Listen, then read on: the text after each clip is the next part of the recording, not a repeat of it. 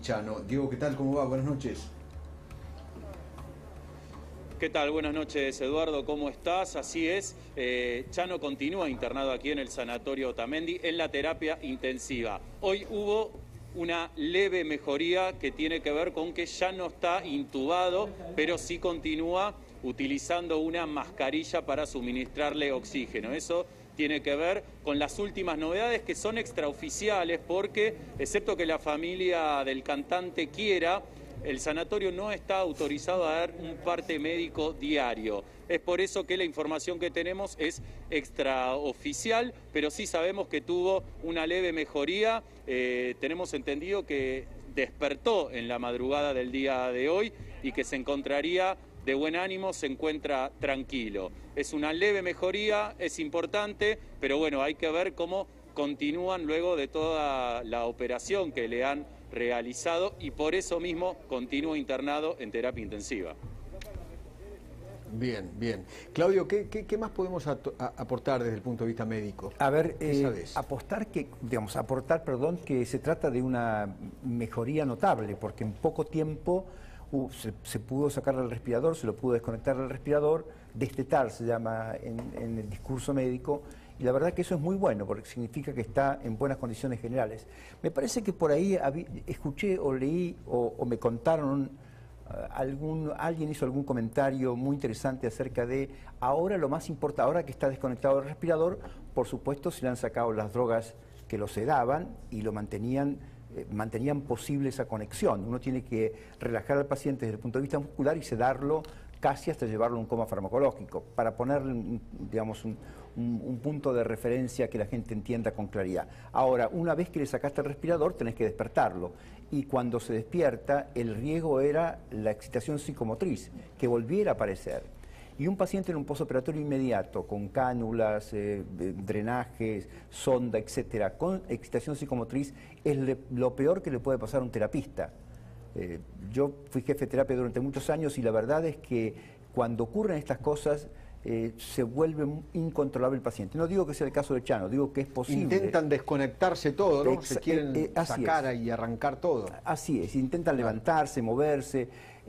afortunadamente no creo que esté pasando en este, en este, caso particular, pero el riesgo existe, desde luego, porque entramos en una situación de abstinencia, definitivamente, porque es un síndrome de abstinencia, y, uno tiene que comenzar a, jugar con la sedación para evitar que aparezca eh, la excitación vinculada con la abstinencia. ¿no? Esto ocurre en todos los pacientes que tienen alguna adicción y particularmente cuando lo encuentran poco antes de, en un estudio de laboratorio, poco antes de la operación, eh, dosis importantes de concentración importante de cocaína y de, marihuana. Claramente había un estado de intoxicación previo. La abstinencia comienza a jugar un papel importante en la recuperación del postoperatorio de un paciente en estas condiciones que ya perdió un riñón y eventualmente, esto no lo sé todavía, pero una parte del vaso como mínimo y una parte del páncreas seguramente también. Eduardo. Doctor, doctor Jesse, a ver, tema, a, ver, declaró mucha gente, ¿no? Ya en la causa ya hay, ya hay papeles. Sí. Así es, la causa se inició el día domingo a la noche y cuando se inició la causa el domingo, a raíz de estos incidentes, se retrotrajo al día viernes. Pero si querés, Eduardo, podemos compartir para seguir la línea de lo que estaba eh, contando Claudio, qué es lo que dice su mamá. Hoy hablé con Marina, estoy en contacto con ella, reitero, la conozco hace seis años a la familia Chano. Eh, hoy le pregunté cómo estaba, cuál era su situación personal, si quería hablar con nosotros en función de lo que vos ayer bien le dijiste. Y esto fue lo que, y esto fue lo que me dijo. Ya dije lo que necesitaba el fiscal, ahora voy a comentar a qué se refiere. Y ahora me quedo tranquila. Voy a dedicarme a mi hijo. El único tema importante acá es hablar de la ley de salud mental que no sirve. Y tomo, Y tomo los dichos de Marina, de la mamá, a quien le mando un, cariño y un afectuoso saludo, por supuesto, también lo hice en forma directa, porque ella hoy prestó, hoy hubo un cambio importante en materia judicial que es el cambio de fiscal. Hasta ahora estuvo actuando el fiscal de la Fiscalía Descentralizada de Parada de Robles, Juan Manuel Esperante, que muy bien trabajó, destacó su trabajo, estuvo en el lugar, hizo un reconocimiento, hizo una inspección ocular y recibió testimonio a todos, menos, por supuesto, al policía Facundo Nahuela Mendolara, este joven policía de la provincia de Buenos Aires de 27 años, que por supuesto no declaró en forma testimonial porque está a la espera de lo que suceda con su suerte procesal.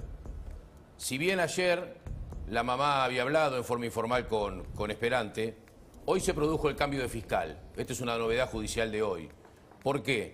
Porque el fiscal general del Departamento Judicial de Zarate Campana, en este lugar nos situamos, José Luis Castaño, dispuso que habiendo un policía de la provincia de Buenos Aires involucrado, intervenga una fiscalía específica, que es la Fiscalía número uno, que se dedica a delitos complejos y violencia institucional. Su fiscal, son dos fiscales titulares, en este caso quien se va a hacer cargo es el fiscal Martín Soca. Hoy el fiscal Martín Soca habló con Marina, habló con la mamá, y le recibió una declaración de avance, vamos a verlo de esta manera, porque en algún momento Marina irá a declarar en forma presencial o Zoom, pero hoy por supuesto que lo dice ella y, por supuesto que los fiscales criteriosamente en esto apoyan. Martín Soca es un viejo fiscal, tiene 12 años de fiscal, 5 años fiscal de juicio, tiene una mirada importante sobre, sobre la, etapa investigativa. Eh, no va a ir la mamá hasta que Chano no recupere primariamente su estado de salud. Está en un estado, está en terapia intensiva, Claudio bien lo explicaba. Con el cual hoy la escuchó a la madre, la mamá Marina ratificó lo que nos dijo a nosotros, lo que dijo en distintos medios en cuanto a que ella entiende que eh, eh, fue excesivo el disparo. Y a esto me refiero, Eduardo. Hoy hubo una, una nota, una investigación muy buena que hizo un periodista de esta casa, que es Gabriel de Nicola. Gabriel de Nicola a la mañana se tomó el trabajo de analizar las declaraciones, que nosotros tenemos también para compartirlas, las declaraciones, las declaraciones de todos los involucrados, me refiero a los médicos de las dos ambulancias, los médicos que fueron el viernes, los policías.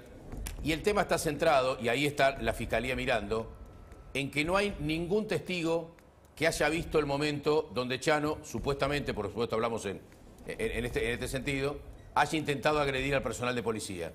No hay imágenes sobre eso, todos estaban afuera, todos dicen que escucharon un disparo y a partir de entraron y se dio la situación que conocemos. Eduardo. Pero, pero sí, en las declaraciones, yo creo haber leído en alguna declaración donde Chano a los gritos eh, decía te voy a cortar la yugular, yo no sé si al policía, a la madre, al psiquiatra, no sé, te voy a, te voy a cortar el cuello, la, yugular, te voy a matar. Eh, eso está en las declaraciones. Así es, hay un cúmulo de declaraciones que recibió la policía de Parada de Robles por directiva del fiscal, reitero, el fiscal estuvo ahí. Es esa foto que usted ve, que recién mostrábamos, este es el cuchillo, pero antes estaba la foto. Eh, el escenario de los hechos es entre este, este, sector parquizado de la casa, que es la antesala del ingreso, y alguno de los cuartos iniciales. Las declaraciones hablan de que el día viernes hubo un episodio donde la mamá, Marina, y, Oscar, el papá del padre del corazón de Chano, la pareja Marina, piden que concurra una, pide que concurra dos ambulancias de la prepaga. Concurre dos ambulancias, pero ninguno de los médicos era psiquiatra. Chano ya estaba ese viernes con un brote psicótico, una excitación psicomotriz, lo que ayer Claudio y, el doctor Brusco nos explicaron. Los médicos que concurren, ninguno era psiquiatra. Hablemos las cosas como son. Eh, Gaby, estaba muy drogado, porque también los testigos cuentan que encontraron gran cantidad de cocaína y marihuana en la casa, por supuesto, más allá de lo que tenía en el cuarto. Yo lo que voy es al momento del viernes, donde ese mismo día se podría haber definido la internación. Por eso la madre de Chano habla y con, con Claudio Sin hablamos de la ley de salud mental y con vos, Edu. Ese día la mamá dijo, este día es el episodio que... hubo otros episodios anteriores que no fueron públicos, que reitero, por una cuestión de reserva y de secreto profesional no voy a revelar, pero sí voy a decir que hubo otros episodios previos de alerta de Chano de que estaba escalando en su consumo y en su nivel de agresividad. Entonces, la mamá venía pidiéndole a los psiquiatras, por favor, internenlo. Ok. Por eso la gran bronca de Chano era primero contra la madre. Correcto. Exactamente. Su ataque paranoico era, con su mamá, su enojo. Es una relación simbiótica entre él y su mamá. Bueno, entendible quizás para aquellos que han atravesado un tema de, adicción o, situaciones similares. Es un drama, es un drama familiar, obviamente. En 2015, en 2015, Chano, por ejemplo, decía esto. Yo creo que, que, soy adicto, que, tengo una enfermedad crónica yo creo que, que, este, que el, destino de, un adicto en consumo es cárceles, hospitales o la, o la muerte. No escuché, justamente me hablaron, no escuché la última parte. Él dijo que era un adicto. ¿Qué, más, doctor Sin? que tenía una enfermedad crónica, lo cual es absolutamente correcto, que cursa con crisis, lo cual es cierto también, y que al adicto le espera el hospital o la muerte. Y, la verdad es que... El hospital y la muerte. esa frase es tremenda. Espera, ¿podemos repetirlo, por favor? Sí. Dale, ponelo. Yo creo que, que, soy adicto, que, que tengo una enfermedad crónica. Yo creo que que, este, que el, destino de, un adicto en consumo es cárceles, hospitales o la, o la muerte. Tremendo. Mira vos que, a ver, eh, qué concepción de lo que significa el, final de, una supuesta o posible recuperación, ¿no? Como que eso no existe, entonces el final o es un hospital internado con deterioro psicológico, psiquiátrico, etcétera, o, la cárcel por haber cometido un delito o la muerte, lugar en el cual eh, estuvo muy cerca después de este episodio. ¿no? Lo cierto es que eh, así piensan muchos adictos ¿eh? y por eso esta situación de, de, incertidumbre permanente, crónica, de, falta de, un sendero que lo lleve a un lugar donde pueda recuperarse. Entran y salen permanentemente de lugares donde se rehabilitan que son un negocio descomunal. Hablo de estas granjas, etcétera, donde evidentemente, no hablo de lugares donde hay profesionales que eventualmente los pueden tratar, etcétera, sino en sitios periféricos a la medicina que les permiten estar un tiempo aislados, separados de la droga, pero después claramente escapan y vuelven a caer en la, en la, en la adicción, porque así funcionan las adicciones. Esos dichos, Eduardo, sí, esos dichos que recién mostrábamos fueron un domingo a la noche en el programa de Jorge Lanata, en Periodismo para Todos. Hacía de esto cuatro o cinco días que Chano había tenido un episodio en Núñez, del cual salió sobreseído. Digo esto porque en algunos medios escribieron otra, otra cuestión. Esto fue después de eso y él ya en ese momento, en el 2015, asumía esta situación. Por eso me quedo con lo de la mamá, porque la madre insiste que esto se podía haber evitado si la internación hubiese llegado a tiempo. Eh, por eso digo, son tan peligrosos los apologistas de los medios de comunicación, periodistas, artistas, eh, actrices, qué, sé yo, la gente del espectáculo, ¿no? cantantes, rockeros, lo, que vos quieras, ¿no? que esos apologistas que le dicen a los jóvenes, eh, yo lo manejo, ¿no? yo la, droga la manejo, la marihuana la manejo, la cocaína la manejo, el éxtasis lo manejo. Porque total es eh, recreacional, ¿viste? Recreativo. Es para, es para recrearme, para divertirme. macana. Están mandando un mensaje eh, de muerte. Eduardo, y cuando, y cuando se los reprochás, de alguna manera, porque ese mensaje no tiene por qué llegar a la gente en esas condiciones, o, con ese, digamos, con ese contenido, cuando se lo reprochaba, decir, pero mira fulano de tal que tiene 80 años, mira mengano de tal que tiene 70 y pico, que se pasó la vida. Bueno, esas son las excepciones, no, es la regla. La regla es que, que, ocurra lo que pronosticó Chano hace en el año 2015. Seis años. E, esto es lo que, e, e, este es el final que habitualmente le toca, entre comillas, a un adicto con esta situación de, falta de una estructura de rehabilitación adecuada, ¿no? Por supuesto. Que no existe, en, la provincia de Buenos Aires, la última vez que hubo una red de contención para adictos fue en manos de Yaría, hace muchísimos años en la provincia, ustedes recuerdan, organizó una red de contención para adictos, claro, ¿cómo no me acordar? Yo nunca tuve demasiada simpatía con Yaría, pero reconozco que esa red que funcionó desde el gobierno de la provincia de Buenos Aires fue realmente una estructura, un dique de contención muy particular. Cierro el tema desde lo judicial, Edu. Eh, ¿Qué es lo que viene ahora? Por un lado, el fiscal Soca hoy recibió la causa, la recibió primero en, forma digital, la estaba recibiendo en la media tarde de hoy en físico, y a partir de lo que la causa dice, más lo que escuchó de la mamá de Chano en forma telefónica, va a definir pasos a seguir, entre los cuales puede estar, por ejemplo, una reconstrucción del hecho.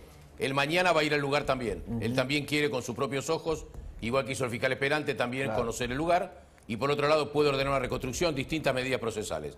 Por otro lado, y con esto cierro lo judicial, hoy también se comunicaron con Marina desde el Centro de Asistencia a la Víctima de la Fiscalía General de Campana, la doctora María Herrera, para brindarle apoyo y contención psicológica a la mamá en este escenario que le está tocando atravesar. Muy bien. Le mandamos un beso muy, muy grande a, a Marina, ¿eh? Por supuesto. A, a- a la familia. Bueno, muy bien. Eh, doctor Sin, no- nos metemos al tema Pfizer. ¿Qué, qué- qué-